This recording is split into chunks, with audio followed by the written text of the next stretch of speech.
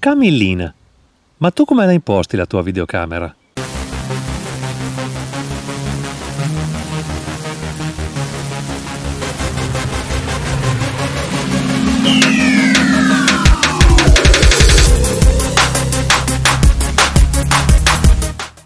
Grandissimi, carissimi, stimatissimi, ciao a tutti e bentornati sul canale di Saturn 5 per un nuovo video Dopo l'ultimo mio video sui metodi consigliati e suggeriti di ripresa, soprattutto in occasione di viaggio, ragazzi, adesso andiamo oggi a scoprire quali sono le migliori impostazioni video di una fotocamera oppure di una videocamera. Io non farò due discorsi diversi e distinti tra foto e video perché i mondi sono molto simili, se ci sono delle differenze ve le faccio sicuramente notare. Andiamo a sviscerare nel dettaglio in sede di uscita, di sessione di riprese, potrebbe essere anche un viaggio, visto che comunque la stagione è proprio quella antecedente all'estate, siamo tutti che stiamo friggendo perché non vediamo l'ora di partire per il viaggio estivo, ebbene quali sono le migliori eh, eh, appunto impostazioni di camera ragazzi? Allora, eh, innanzitutto per quello che riguarda le foto io vi dico anche un attimino quelle che sono le mie abitudini personali e ciò che ritengo il meglio allora per le foto io normalmente riprendo sempre con la massima risoluzione e la più bassa eh, compressione JPEG. Quindi volendo si può riprendere anche in RAW in questo caso avete la massima qualità. I file però attenzione sono veramente molto molto pesanti. Non so fino a che punto convenga riprendere in RAW secondo me in RAW conviene riprendere soprattutto se avete intenzione di fare una post produzione pesante ma siccome non è il mio caso io normalmente di post produzione ragazzi ne faccio veramente poca e quel poco che faccio mi basta il file JPEG quindi massima risoluzione più basso livello di compressione JPEG normalmente le macchine lo chiamano con S che sta per super fine no? c'è M che è una media poi c'è eh, fine F S super fine per quello che riguarda i video ragazzi, allora io registro sempre tutto in MP4, evito la VCHD, riprendo tutto in MP4 normalmente a 50 fps. Perché a 50 non 25? Sostanzialmente per due motivi ragazzi, innanzitutto se voglio fare un minimo di slow motion con 50 posso fare un rallentamento 0.5 per, cosa che diversamente non potrei fare e poi con i 50 fps ho anche una maggior fluidità nei movimenti di pan. Eh, io ho notato che con 25 fps soprattutto con basse luci durante gli spostamenti di macchina le, vedete un certo effetto scattoso che non è proprio il massimo dei massimi. Dicevo sempre in mp4 per quanto riguarda i profili colore, effetti immagini, io normalmente tendo a non usarli. Per la fotografia, ogni tanto uso il profilo paesaggio che è presente un po' su tutte le macchine, che siano Canon, che siano Sony, che enfatizza leggermente i blu e i verdi, però lo uso raramente ragazzi, perché poi le macchine a volte tendono a saturare, poi comunque se vogliamo dare un tocco di colore in più lo possiamo sempre fare in post produzione quindi non c'è bisogno a tutti i costi di impostare questi profili a meno che non si desideri fare un monocromo. A questo punto foto in bianco e nero magari volendo anche con un effetto seppia a quel punto può essere interessante anche se l'effetto si può comunque ottenere anche in post produzione per quello che riguarda i video ragazzi come dicevo prima mp4 eh, in risoluzione normalmente 1080p evito il 4k per una serie di motivi che ho già spiegato in parecchi miei precedenti video. E eh, con un bitrate che normalmente oscilla da un minimo di 10 megabit al secondo a un massimo di 20 io sono sempre intorno ai 15 16 18 insomma dipende un attimino ma normalmente mi tengo con quel uh, bitrate lì che secondo me è il bitrate in assoluto ottimale. Normalmente evito nel modo più assoluto i vari profili tipo il C-Log di Canon il V-Log di Panasonic l'S-Log di Sony che sostanzialmente tendono a riprodurre immagini riprese con eh, ridottissima gamma dinamica per poi elaborarle in post produzione non lo faccio perché poi l'elaborazione in post produzione è abbastanza macchinosa e complessa, per cui evito questo tipo di eh, tecnica di ripresa come anche eh, eventualmente le, i metodi di ripresa diciamo a larga gamma dinamica. Ma di questo magari ne parliamo un pochettino più tardi. Molto bene ragazzi incominciamo a parlare primo, del primo aspetto di impostazione di ripresa occhio alla composizione. La composizione è un qualcosa di molto importante cercate di centrare bene il soggetto nel caso in cui ci sia un soggetto, occhio alla regola dei terzi, occhio agli orizzonti storti, se, usate, se avete una livella bolla elettronica fatene uso, diversamente usate il cavalletto che non sbagliate mai a usare il cavalletto, occhio a non includere degli oggetti indesiderati nella composizione, occhio ai cavi dell'alta tensione che spesso volentieri magari in un angolino, tac, un pezzo di cavo che comunque potrebbe rovinarvi l'immagine, io personalmente vi posso dire che faccio sempre molta attenzione per quello che riguarda i bordi del fotogramma, soprattutto per la fotografia ragazzi, perché spesso capita senza volerlo di tagliare degli oggetti a metà. Per esempio voi immaginate un paesaggio che parte con un prato e finisce con delle colline o delle montagne, ebbene magari sul bordo inferiore del fotogramma avete una pietra che avete preso a metà perché essendo sul bordo del fotogramma non ci avete fatto caso, oppure magari sul bordo superiore una nuvola tagliata a metà. Allora la nuvola io tendo o a includerla o a ricomporre ed escluderla completamente. Sul lato, su uno dei due lati del fotogramma potrebbe venire, non lo so, una foglia tagliata a metà, un ramo di un albero ripreso per metà. Ecco, queste cose qua io non ci faccio, non mi piacciono assolutamente. Io faccio sempre molta attenzione di riprendere anche piccoli soggetti insignificanti o in tutto, in toto, o se no non li riprendo per niente. Ma le cose tagliate, ragazzi, è una cosa che non mi piace. Non credo che ci sia tanto altro da dire per quello che riguarda la composizione. Ragazzi, passiamo adesso all'argomento più complesso in assoluto, e cioè l'esposizione. Che cos'è l'esposizione? La quantità di luce che colpisce il sensore. D'altronde fare fotografie o fare video, ragazzi, consiste principalmente in una manipolazione e gestione della luce, per cui l'esposizione è fondamentale. Può essere gestita in maniera completamente automatica, modalità di ripresa P, program, dove la macchina decide apertura e tempi, in maniera semi-automatica, priorità di apertura io decido il diaframma, la macchina i tempi, o viceversa io decido i tempi, priorità di tempi, la macchina l'apertura, e poi il terzo elemento ISO che viene normalmente gestito a parte, anch'esso può essere impostato automaticamente dalla macchina oppure manualmente o anche quello in maniera semi-automatica.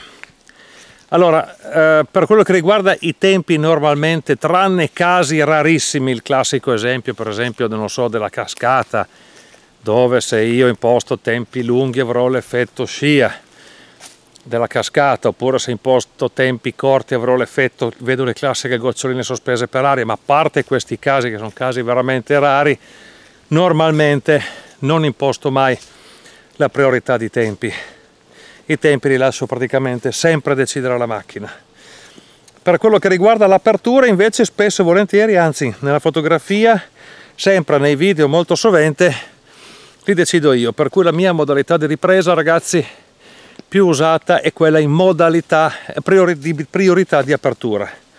Io decido il diaframma e la macchina decide i tempi e o eventualmente gli ISO.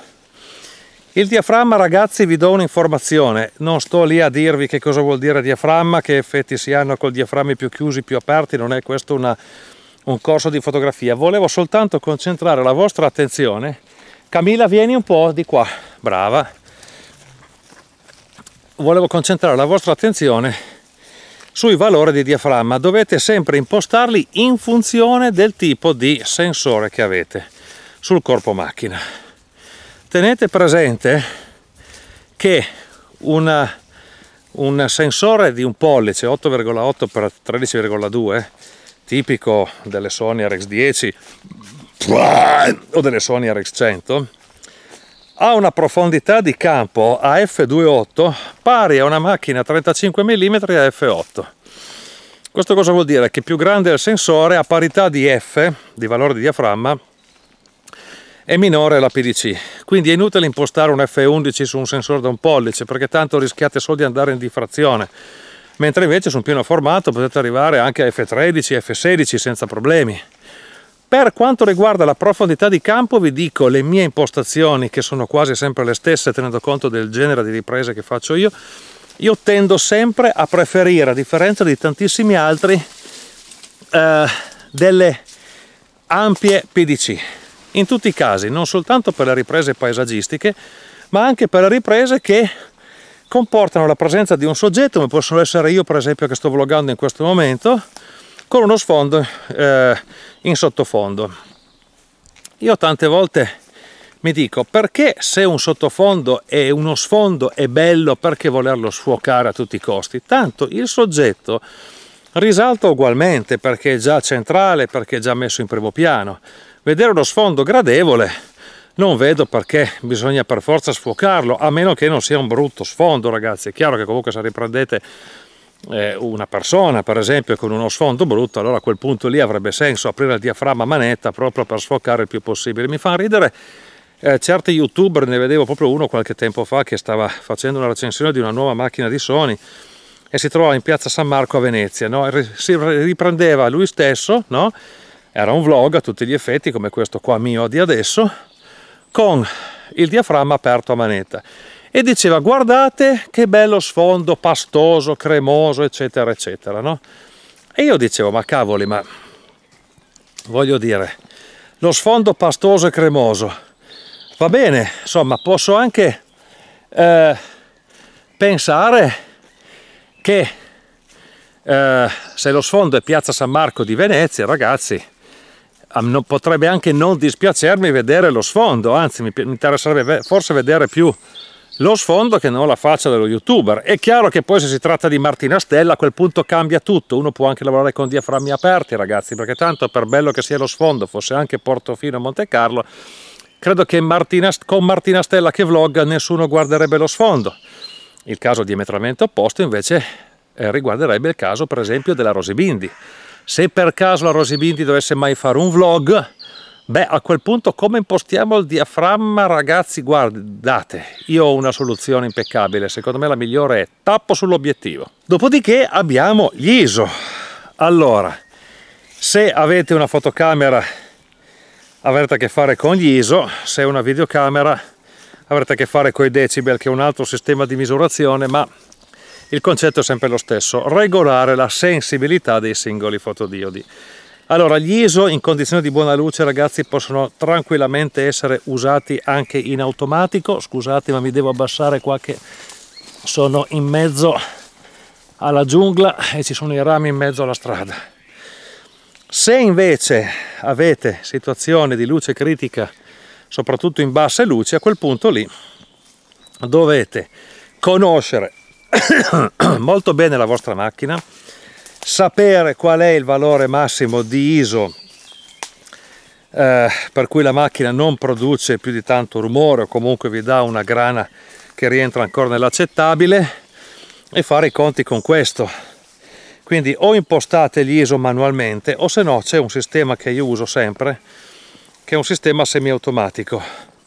Per cui voi impostate un limite superiore nel senso oltre il quale la macchina non può superare la soglia di ISO. Eh, alcune macchine consentono anche di impostare il limite inferiore, il limite inferiore di fatto non è che abbia molto senso perché serve veramente a poco.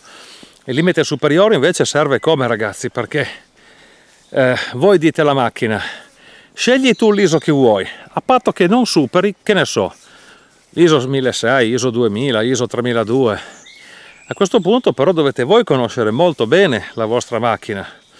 Se avete una Sony serie RX10 o RX100 per esempio sensore un pollice da 20 megapixel potete spingervi fino verso ISO 1600-2000 che non avete problemi. Al di sopra la grana incomincia a diventare un pochettino fastidiosa e soprattutto visibile se invece avete una Sony per esempio Alpha 7 S2 che è la miglior macchina in tal senso sul mercato oggi nonostante che sia in produzione da 5 anni potete permettermi di sparare fino a ISO 50.000 perché rumore non ne vedete assolutamente ancora.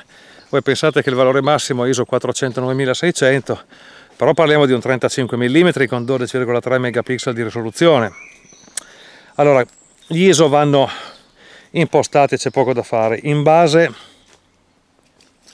in base al, al tipo di macchina che vi trovate. Dal discorso degli ISO ragazzi mi rilaccio adesso un attimo a dirvi una cosa importantissima riguardo proprio all'esposizione. E con questo concludo il discorso sull'esposizione. Allora una falsa credenza che appunto molti credono è che gli esposimetri sulle macchine eh, siano progettati per rendere la luminosità sull'immagine il più possibile simile alla luminosità reale della scena. Niente di più sbagliato. Gli esposimetri di qualunque fotocamera o videocamera di basso o alto livello di questo pianeta è progettato non per rendere il più simile, il più realistico possibile la luminosità rispetto alla scena che è, eh, scena che è inquadrata, ma di rendere il massimo dettaglio possibile dall'immagine. Attenzione perché sono due concetti molto ben distinti l'uno dall'altro. Allora, questo cosa significa sul piano pratico? Che se lavoriamo e riprendiamo in condizioni di buona luce, come per esempio oggi col sole e tutto quanto, bella luce, a quel punto rendere una scena col massimo dettaglio possibile corrisponde anche a renderla luminosa il più simile possibile alla luminosità reale eh, dell'ambiente in cui ci troviamo. Ma quando la luminosità incomincia a calare, tipicamente di sera, ragazzi, le cose cambiano e cambiano anche di parecchio. Perché voi dovete sapere che quando la luce cala, eh, gli esposimetri incominciano a sovraesporre e più la luce cala, quindi per esempio più si avvicina la sera alla notte, più le macchine tendono a sovraesporre. Proprio perché la luce cala, l'occhio umano incomincia a scorgere sempre meno dettagli su ciò che gli circonda proprio perché non ce la fa più, eh, i sensori da questo punto di vista ci vedono meglio dell'occhio umano e incominciano a sovraesporre per consentire poi allo spettatore di vedere dei dettagli che diversamente a occhio nudo non si vedrebbero. Tenete presente ragazzi che sotto il profilo delle basse luci, qualunque, cioè qualunque no, ma mediamente diciamo i sensori digitali moderni ci vedono molto meglio dell'occhio umano. Diverso il discorso per la gamma dinamica. L'occhio umano è in grado di distinguere dettaglio su alte e basse luci, eh, tipicamente nei contesti diurni, molto, in modo molto migliore rispetto a un sensore digitale.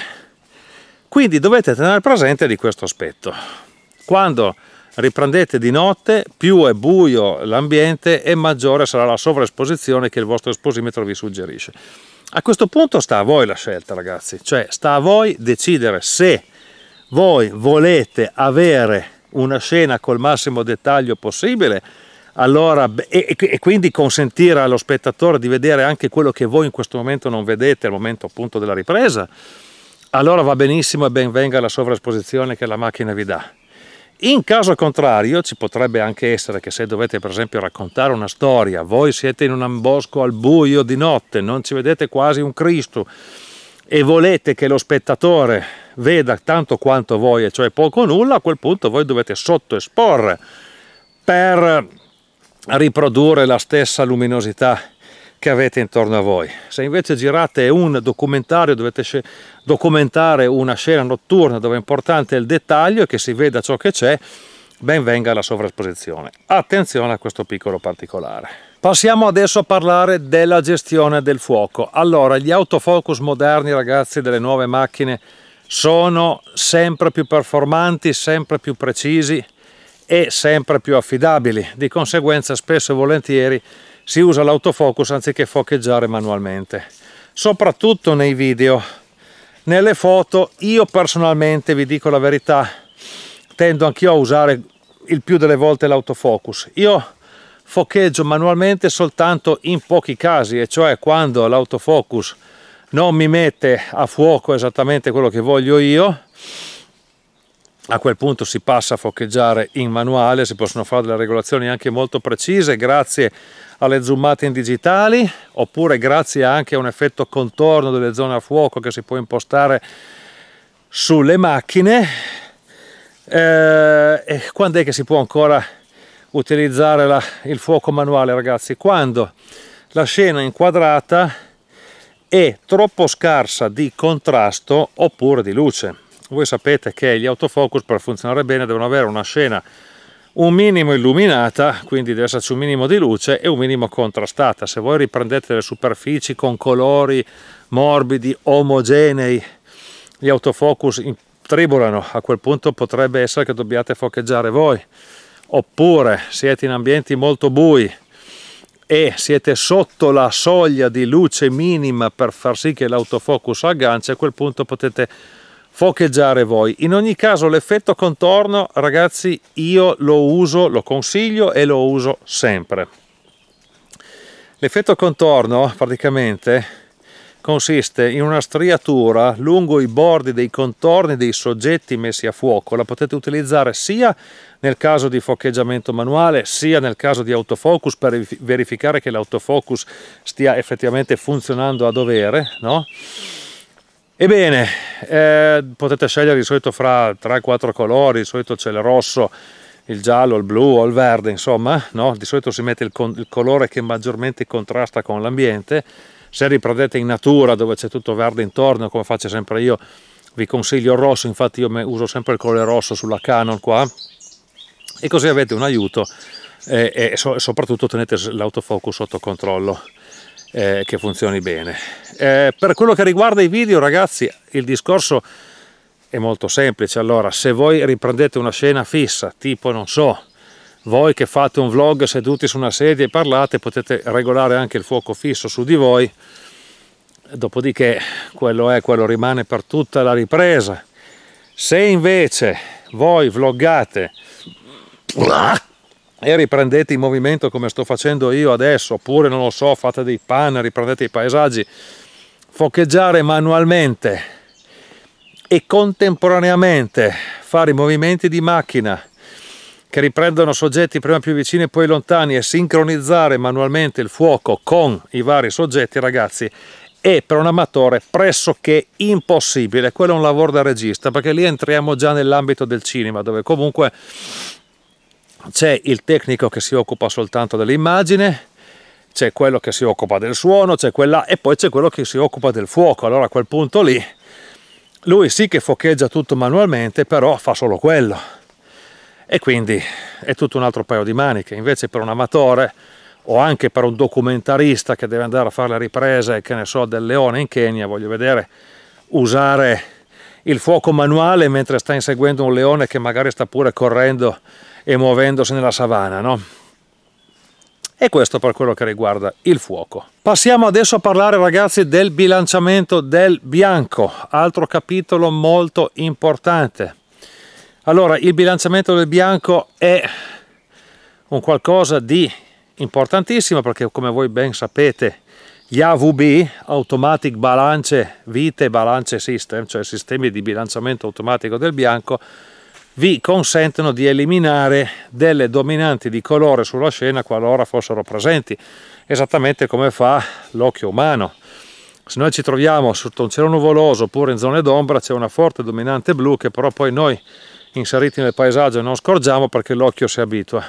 I sensori invece no, riprendono tutte le cose così come sono. Ebbene, se vogliamo simulare l'effetto dell'occhio, cioè eh, eliminare questa, questa dominante, bisogna intervenire scaldando o raffreddando la foto, insomma, diciamo che la, la, la, la foto oppure l'immagine video, insomma, no?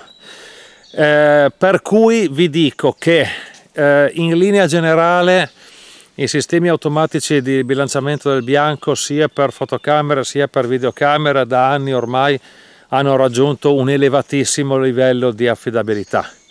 Io sono anni e anni che lavoro con fotocamere reflex, Canon, poi Sony e non ho mai avuto problemi, forse una foto su mille ho dovuto scaldarla fra virgolette oppure raffreddarla in post produzione perché mi ha inciuccato il, il bianco, ma normalmente eh, il tutto funziona sempre correttamente. Ci sono tuttavia dei casi ragazzi in cui invece conviene intervenire manualmente oppure in maniera semiautomatica.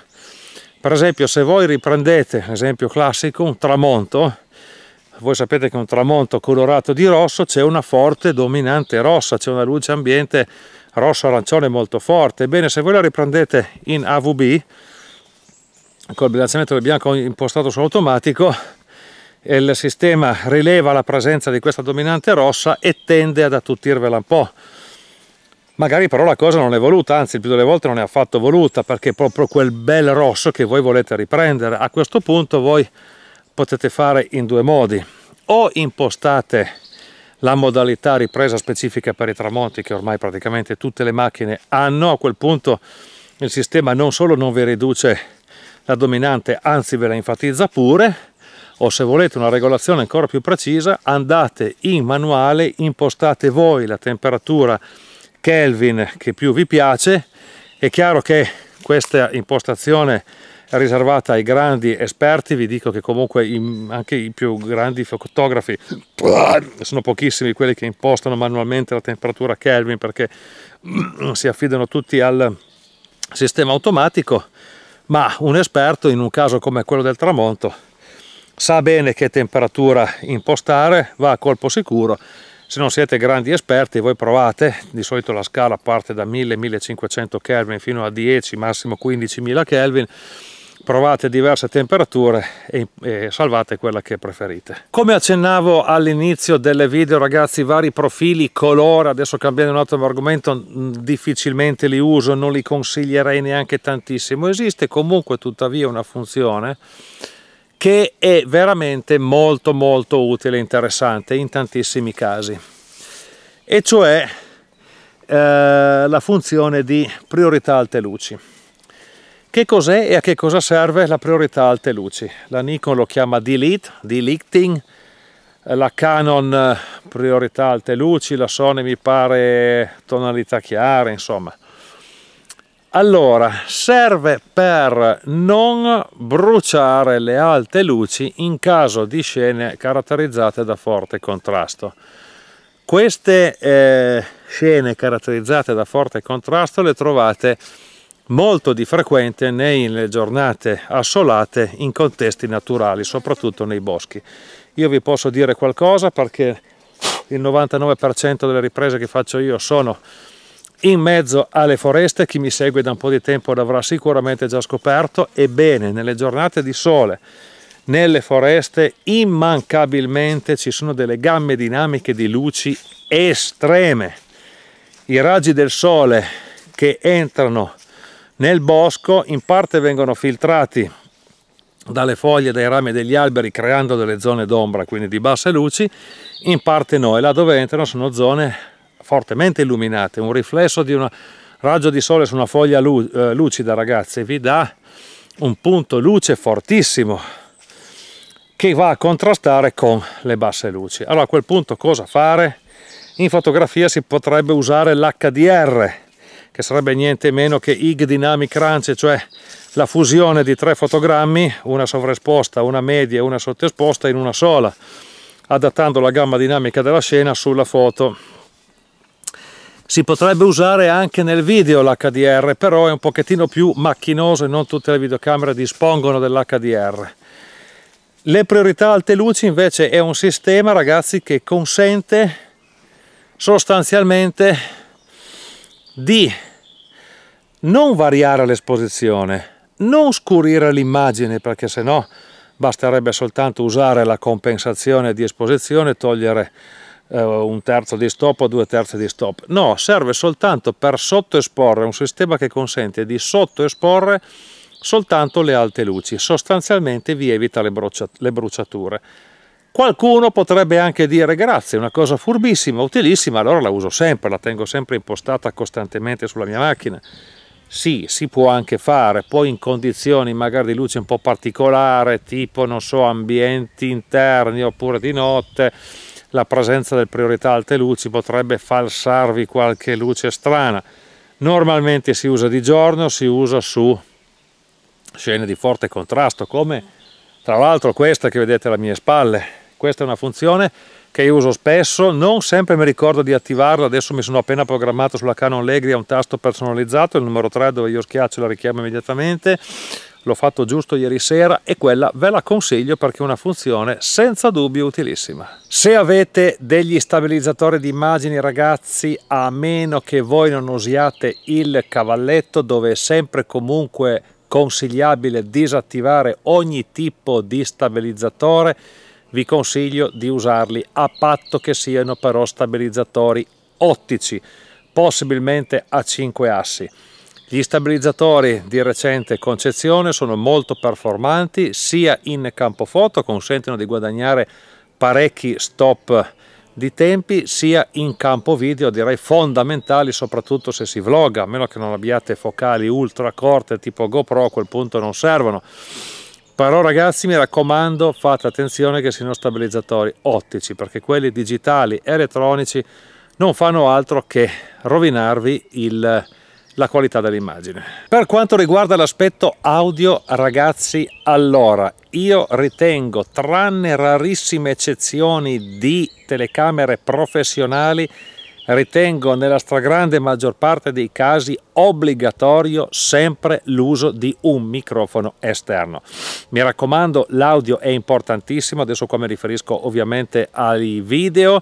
Eh, un video è fatto da tre segnali, uno è quello di immagine visivo e due segnali audio destro e sinistro. Mi raccomando, non dimentichiamo l'aspetto audio perché tantissimi videografi, soprattutto coloro che provengono dalle fotografie, tendono un pochettino a dimenticarsi della qualità dell'audio e snobbare l'audio in generale. È importante avere una buona qualità audio. Normalmente i microfoni incorporati delle macchine lasciano il tempo che trovano, oltretutto sono anche magari eh, sacrificati eh, in mezzo a spazi angusti per cui le, eh, diciamo la risposta in frequenza, la qualità audio è veramente scarsa, quindi importantissimo di munirsi di un microfono esterno.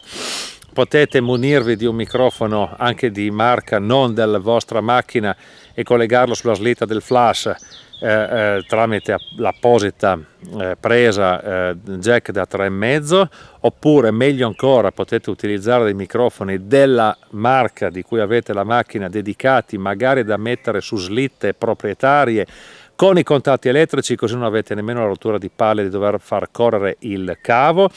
In caso di marchi esterni dovete fare attenzione a due aspetti ragazzi. Intanto se sono alimentati o meno io personalmente i microfoni alimentati da batteria li ho sempre odiati, non li ho mai avuti. Primo perché sono più pesanti, ingombranti e pesanti.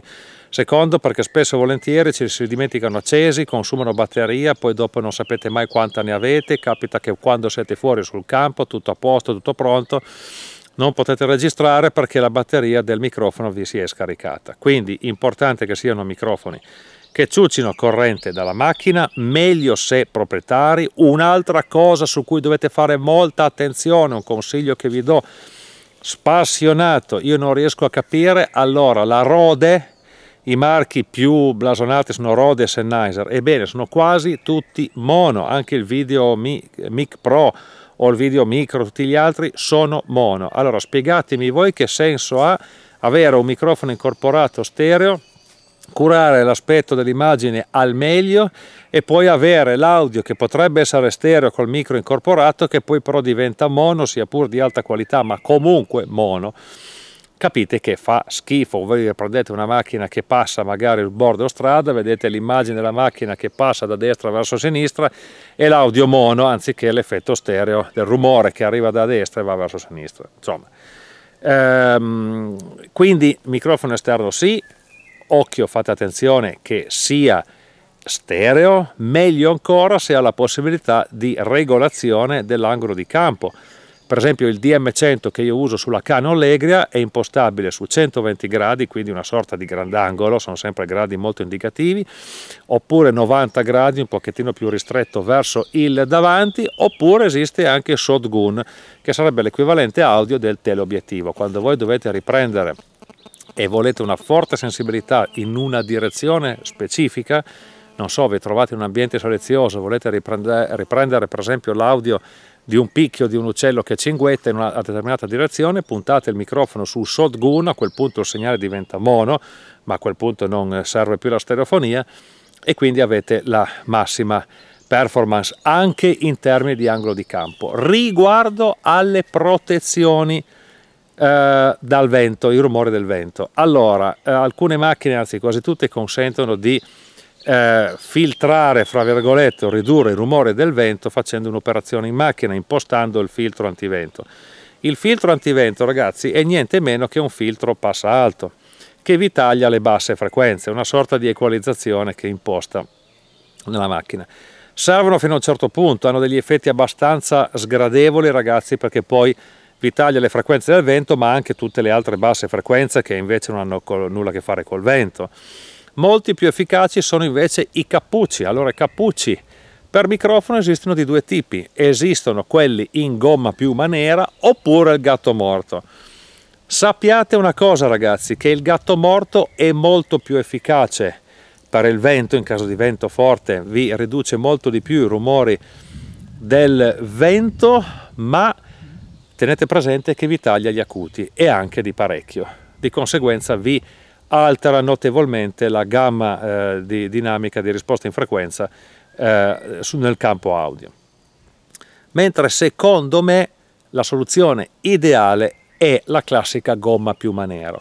Quello vi taglia il vento, non in maniera così forte come il gatto morto, però direi che le alte frequenze le lascia, potremmo dire, quasi del tutto invariate. Molto bene ragazzi, infine abbiamo il discorso della post-produzione. Allora, come voi ben sapete, sia la post-produzione fotografica, per esempio Photoshop, oppure quella video, per esempio Adobe Premiere Pro, vi consentono di risolvere degli errori che avete fatto in fase di ripresa. Allora, eh, sono molto performanti, si può fare veramente di tutto, si può modificare l'immagine sotto tutti i punti di vista, si può modificare l'audio, si possono inserire effetti, si può fare un sacco di roba. Allora, qua ci sono diverse filosofie di pensiero, ragazzi. C'è gente che con la post-produzione ci lavora un sacco. Conosco un'importante fotografa che anche lei è iscritta al sito usafoto.com come me, che lavora giù pesante su ogni scatto che fa di post produzione, fa delle foto bellissime, fantastiche, di, impatto, di forte impatto visivo, ma se si esagera con la post produzione si perde un po' di naturalezza. Oltretutto il lavoro comporta anche una grande, grande perdita di tempo. Io personalmente vi dico la mia, sia per foto sia per video la post produzione la uso per carità perché la uso ma ridotta al minimo più attenzione si fa in fase di ripresa sul campo. Più ci si concentra sul campo ragazzi e meno si ha da impazzire poi dopo scusate a casa al computer con i programmi. Di conseguenza preferisco sempre eh, fare così che non caricare poi i file di, di tonnellate di post produzione per concludere il video ragazzi vi indico e evidenzio ancora tre accessori fondamentali che dovete avere assolutamente sul campo. Il primo è il cavalletto il treppiedi più uso ne fate meglio è. Capisco che non in tutte le situazioni è il massimo della comodità ragazzi però vi serve per stabilizzare le immagini vi serve per fare composizioni, inquadrature precise, vi consente di tenere gli isobassi, insomma, il soprattutto per la fotografia, insomma, vi consente veramente eh, di fare tante cose che eh, senza non riuscite a fare. Un cavalletto leggero da viaggio, se fate grosse trasferte a piedi come faccio io, dovete sempre averlo dietro o quasi sempre o il più possibile. Io uso il Befre di Manfrotto, ne ho parlato anche nel mio precedente video dove facevo vedere tutta l'attrezzatura che uso, un cavalletto da 1,38 kg con testa video, tutto in carbonio, eh, praticissimo, leggero, trasportabilissimo, eccetera, eccetera. La seconda cosa ragazzi, il microfono esterno l'ho appena detto per le ragioni che vi ho appena spiegato. Ultima cosa importantissima per quello che riguarda le riprese, sia che voi facciate foto in giro sia che voi facciate video allora se fate foto dovete per forza avere un flash. Ricordatevi che il flash dovete sempre averlo dietro con un numero guida che sia almeno almeno un 35-40 mi raccomando.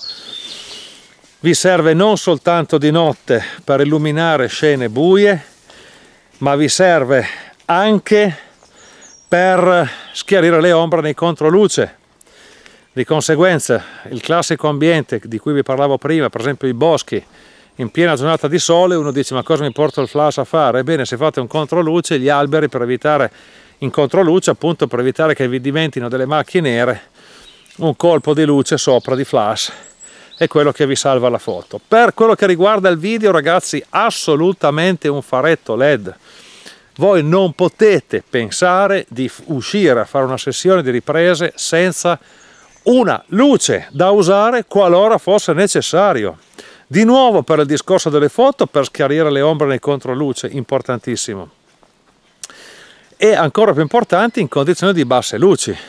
E mi riallaccio al discorso che vi dicevo prima, quando la luce cala voi sapete che gli esposimetri tendono a sovraesporre, di conseguenza se voi avete una Sony Alpha 7 S2 che vi consente di riprendere sostanzialmente a, a, a, al buio completo, illuminando eh, una scena quasi come fosse luce di giorno alzando gli ISO senza avere rumore è un discorso.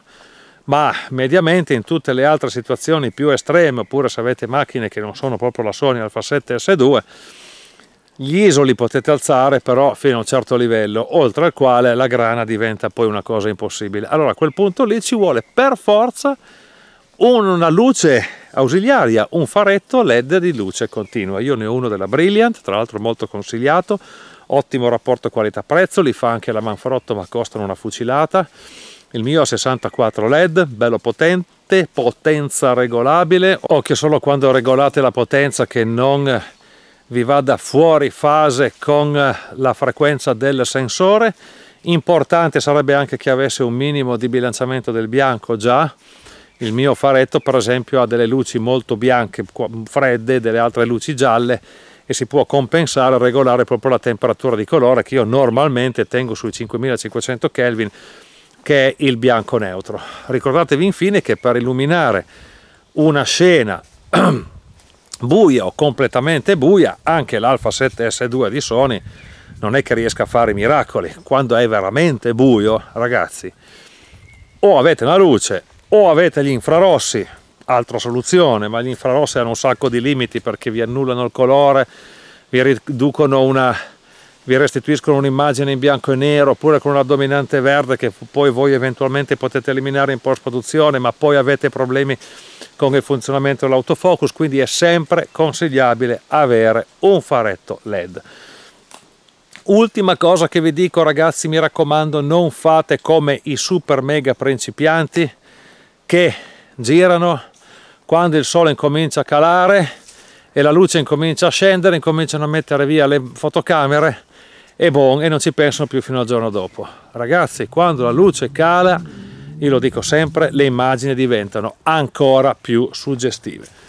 Ci sono un sacco di immagini notturne, se uno sa riprendere bene in basse luci, gestendo bene le tonalità di luce, il rumore, l'illuminazione, i controluci, eccetera, fate delle immagini sia da un punto di vista foto sia video che sono molto molto interessanti suggestive. Bene ragazzi anche questo video volge al termine, mi auguro davvero che possa essere stato di aiuto per qualcuno di voi che magari è alle prime armi, soprattutto in vista del eh, viaggio che faremo tutti eh, quest'estate, luglio-agosto del 2020. Ho già fatto altri video che trattano appunto l'argomento viaggi estivi 2020. Mi raccomando, nel caso in cui voi aveste una macchina che avete preso da poco, non fate l'errore di comprare la macchina all'ultimo e poi partire a inaugurarla eh, sul campo in occasione di viaggio o comunque escursioni uscite.